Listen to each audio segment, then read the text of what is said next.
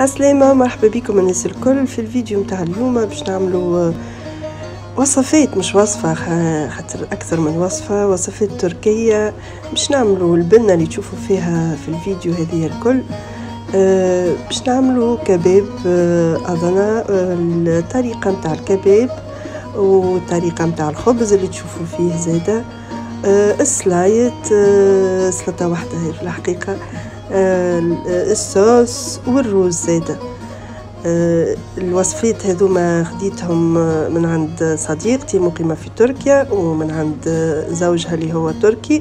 نحب بالمناسبة نقول لهم يعطيكم الصحة ويخو بخاطركم اللي وسعتوا معايا بالكم وما بخلتوش عليا معناها بحتى بحتى معلومة. آه، دونك باش تعرفوا الوصفات هذه خليكم معايا لآخر الفيديو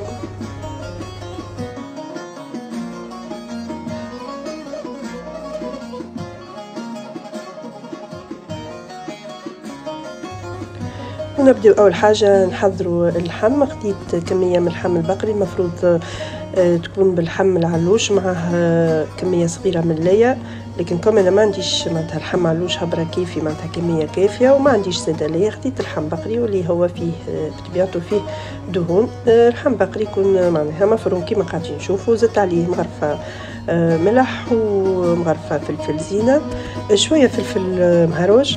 شفتوا الفلفل المهروج هذاك كان يكون صغير آه، وحار برشا ماضي. يعني هذاك علاش ما حطيتش كمية آه، كمية كبيرة. وزدت عليه مغرفة متاع خميرة متاع جاتو لهنا آه، الدور متاع خميرة الجاتو علاش حطيتها؟ مثل الجاتو تخلي اللحم كيف يطيب يقعد طري وما يتحسوش هكا شايح وكا يابس العجينة اللحم بعد عجنته عجنته مليح مش لميته هكا هو عجنته مليح كيما شفتوا كيما تعجن الخبز. كيما تعجن العجينة. متاع الخبز حتى لين تماسك اللحم غطيته papier cellophane وخليته في الفريجيدير. الوقت اللي باش نحضر فيه الحاجات الأخرى. هنا باش نمشيو الخبز الخبز هدايا ولا الخبز التركي اللي يقدم مع المشويات خبز اللافاش التركي اسمه هكا بالضبط. للخبز خديت رتل فرينة خديت عليها مغرفة صغيرة مغرفة كبيرة خميرة متاع خبز مغرفة كبيرة متاع سكر مغرفة صغيرة ملح وكهو ماء دافي آه، باش نعجن بها آه، لميت العجينة أول حاجة لميت العجينة بك الماء والعجينة لهنا وقت اللي لموها ما لازمش تكون طرية معناها ما تكثروش من الماء نبداو نزيدو بشوية بشوية الماء ونلمو في العجينة. نحاولوا إنه أنا معناتها كما تشوفوا لهنا باش نلمها باللي فيها ماء معناتها ما مزدتلهاش الماء. كما تشوفوا العجينة هنا تكون كاسحة تكون شادة روحها معناتها ما تكونش كطرية واللينه على الآخر اللي تكون آه، مطاوعة ولا تلصق في اليد لا تكون آه، تكون كاسحة العجينة نتاع الخبز. أه باش نعجنها نعمل لها عجنة باهية نعجنها مليح مليح ومن بعد باش نغطيها ونخليها تخمر.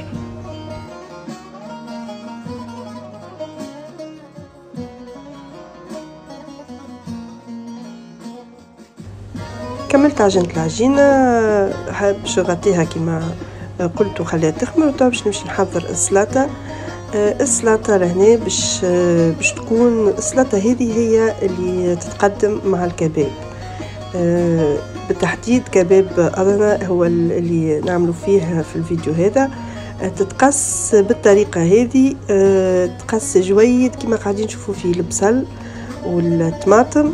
والمعدنوس اكا هاو هذا شنو يجي فيها؟ يتقصوا المهم معناتها يتقصوا جيدين كيما باش تقصوا نتوما معناتها ندور ولا انصاف ولا آه، هكايا معناتها على أربعة.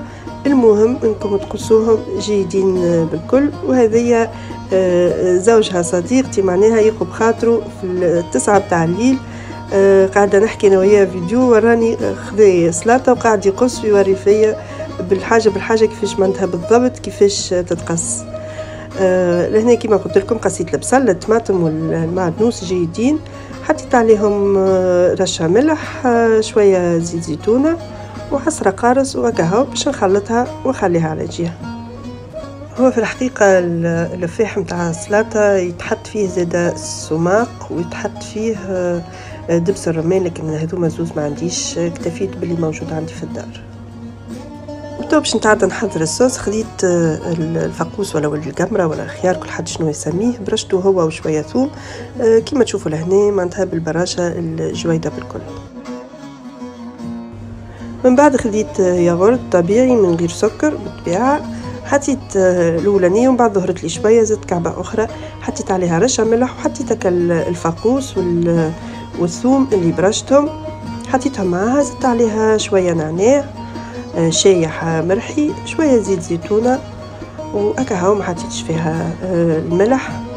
آه، خلطتها كيف من هكايا ومن بعد ثولي باش نزيد شوية زيت زيتونة كيف هكا وخليتها حتى هي زاده هذيك حضرت الصوص نتاعو ولهنا العجينة نتاع الخبز حضرت خمرت معناها وضاعف الحجم نتاعها كيما شفتوا بالكدا بالكدا باش نفرغها مكا الهواء رشيت شوية فرينة وباش نقسم العجينة الكعابر يكونوا كبار شوية كيما شفتوا الخبز أنا اخترت باش نعمله كبير.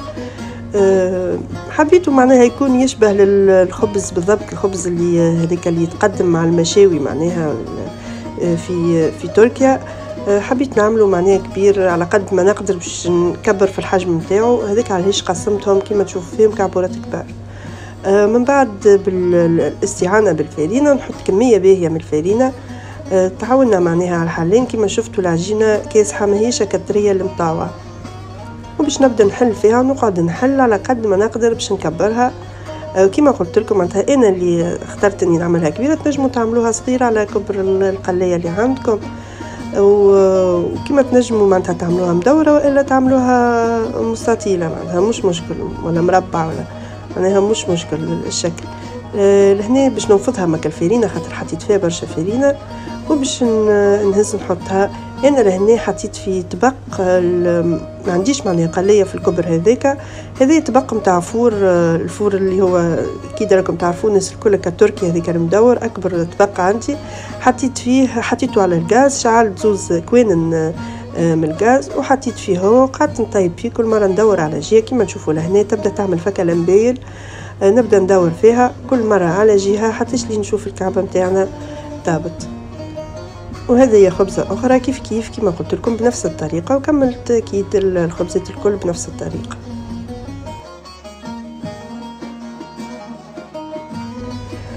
وتو نمشيو نحضروا اللحم نتاعنا الكباب نتاعنا. هو في الحقيقة يتحط في السفافد ولا هذيكم اللي تحط فيهم. كيما هكا يكون خشنهم كيما العرض نتاع السكينة. لكن أنا كنت في بالي عندي منهم. لكن ظهرت معناها ما عنديش عندي هذم العاديين مش جويدين مش كيما معناتها هكا العود لكن أعرض بشوية بركة. من بعد ما نحط اللحم هكا ندورو بال بالكسافود ناخذ شوية ماء بالاستعانة بشوية ماء ونعمل بيه هكا بصوابعي كيما قاعدين تشوفوا في الفيديو بالضبط. باش نعطيه هكا الشكل متاع التعرجات اللي تجي في في الكباب.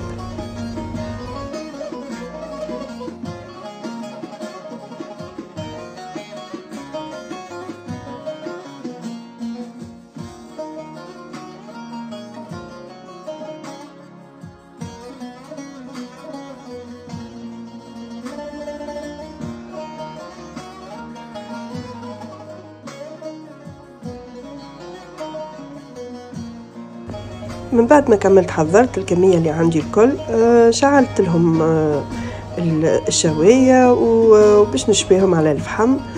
أه تنجموا زيادة راهو تشويهم على على الغاز وإلا في الشواية الكهربائية ولا حتى في الفور.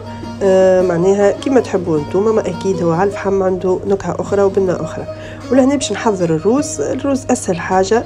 آه خليته آخر حاجة خاطر سهل برشا. حطيت شوية زيت وحطيت فيه الروز من بعد ما شللته. حطيت صحفة روز تنجموا تحطوا كيس كيلة معناتها كيلة روز آه عليها باش نحط كيلتين ماء. معناتها صحفة روز حطيت عليها باش نحط صحفتين ماء. من بعد حركتهم كيما هكا حطيت شوية ملح وحطيت لفواح نتاعنا اللي هو تابل وكروية آه خلطتهم وهكا دوب ما بديت تعمل في الفقاعات باش نقص في النار على الآخر ونغطيه ونخليه حتى يشلين يطيب.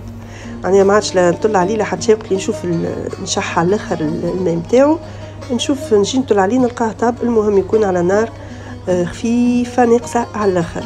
وهذه الخبز نتاعنا شوفوا ما شاء الله آه، جاو الخبزات كيما حبيتهم بالضبط معناها الشكل نتاعهم آه، يشبه برشا الخبز نتاع المشاوي اللي يقدموه مع المشاوي في تركيا. وحبيت نعمل هكا الجو هكا نتاعو بالضبط طريقة كيفاش يتنحى وكان الكباب كيفاش يتنحى من السفافد نتاعو وحطيت معاه حطيت معناتها حطيتهم فوق الخبز وهذيكم شوية قرن فلفل معناتها شوية الفلفل وال والطماطم كنت باش نعمل سلطة من بعد حطيتهم كيما هما يحطوهم معناتها بالطريقة اللي يتحطوا في اللي يحطوها معناتها في تركيا. حبيتش نبدل حتى شيء. أه والكباب يتقدم بالطريقتين يتقدم بالطريقة هذه معناها على الخبز ولا يتقدم معناتها أه معناتها مع الروز بالطريقة اللي باش تشوفوها هذه.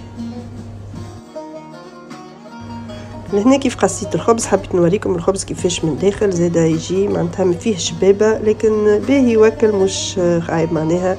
حاجة غريبة علينا نحنا توانسه مثلا نحبوا اللبابة في الخبز لكن زادا بنين مش خايب donc الوصفة نتاعنا اليوم وفات إن شاء الله تكون عجبتكم وإن شاء الله تجربوها وتعجبكم ونرجع لكم في وصفة أخرى إن شاء الله. تبقى على خير بالسلامه bye bye.